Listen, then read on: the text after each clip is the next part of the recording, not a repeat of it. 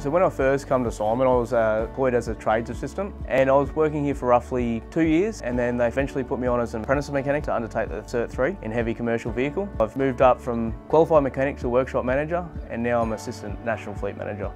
So Justin was my mentor as an apprentice. I was lucky enough to have some good guys like Justin, um, Trevor, Wayne, uh, another guy by the name of Will.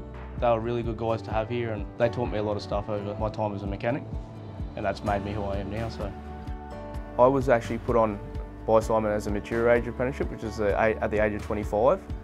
I found it very hard at the time when I was 18, 19, coming out of school, to find an apprenticeship for myself. Simon's have been giving me an opportunity right from the start, and that's something I appreciate, and it's a good place to work for.